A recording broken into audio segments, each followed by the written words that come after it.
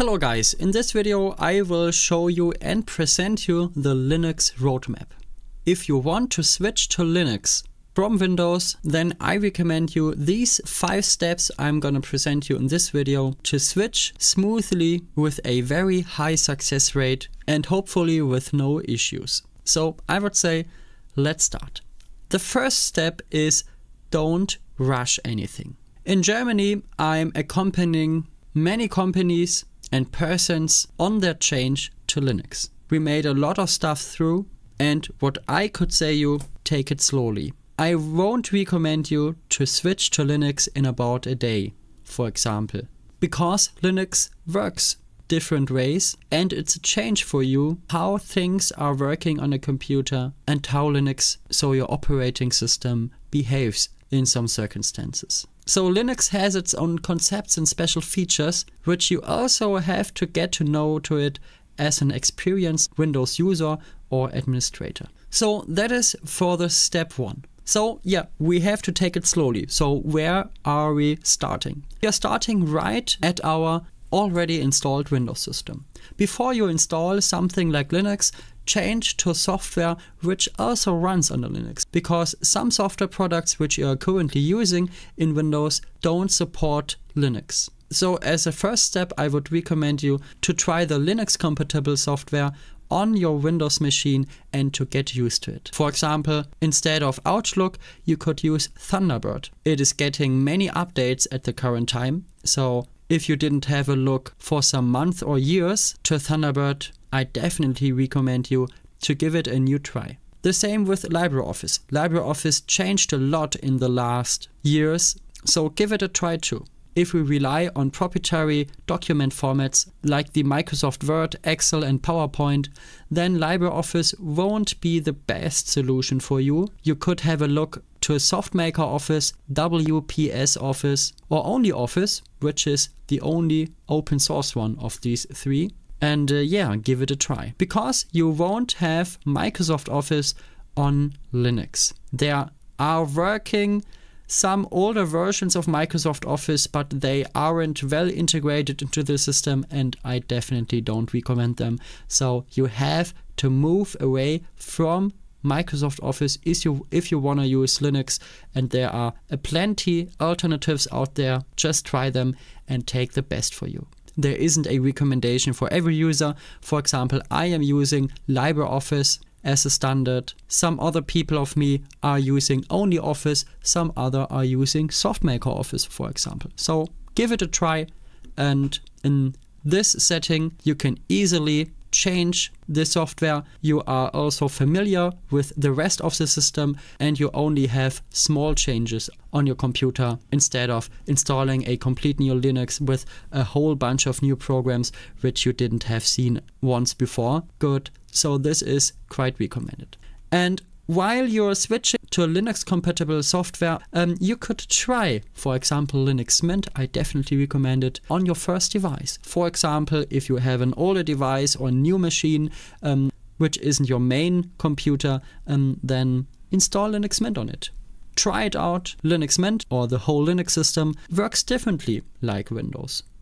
Get a feeling for it and learn how to install software, how to administrate your Linux, get to know over the settings of Linux Mint, I definitely recommend it to you. If you don't have currently a free device, I personally recommend you installing Linux in a virtual machine like VirtualBox. VirtualBox is a virtual machine which is a virtual computer which runs on your main computer. Um, you can definitely use it to try out another operating systems, how they gonna feel like in real if you install them in real. And uh, this is a quite cool experience. If you don't know it, try it out. It doesn't reflect the full Linux experience, maybe about 80%, but 80% are better than zero, aren't they? So, okay.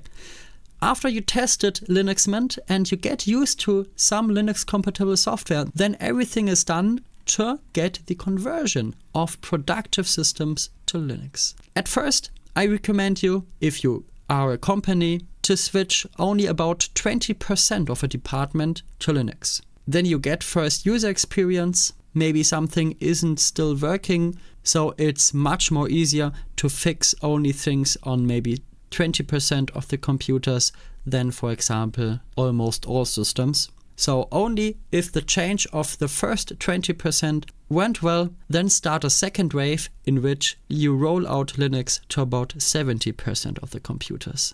Then almost everyone is using Linux and is hopefully quite fine.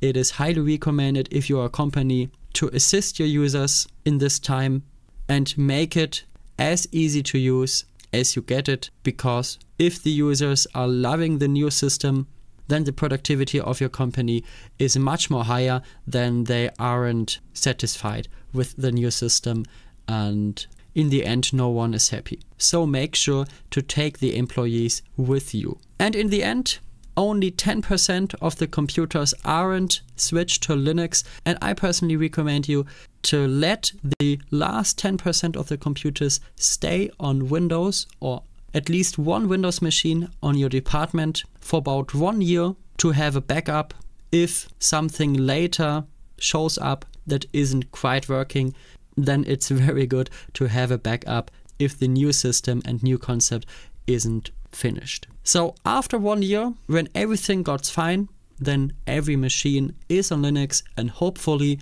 your company and you are more productive, have a faster Linux with freedom with full transparency because it's open source, which is more secure, which your employees or you by yourself and you are loving.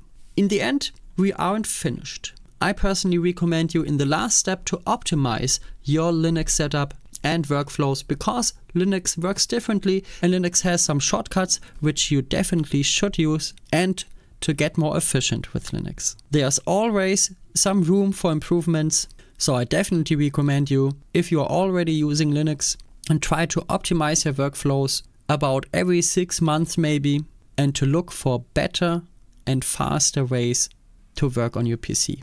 I personally do that maybe about every month, try trying out new things, and if I found something helpful, then I share it, for example, on my YouTube channel and with my clients and customers. So that was it for today. I hope you found this video helpful Please do not rush in switching to Linux. Try out Linux compatible software at first, then try out Linux yourself, and after that, everything is finished. Then and only then, switch to Linux on your main machine, but always keep a backup of one of your old machines for about one year, and, and then your change to Linux should be quite promising. So if you found this video helpful, please leave a like and subscribe to this channel and have fun switching to Linux or using Linux further on. Goodbye.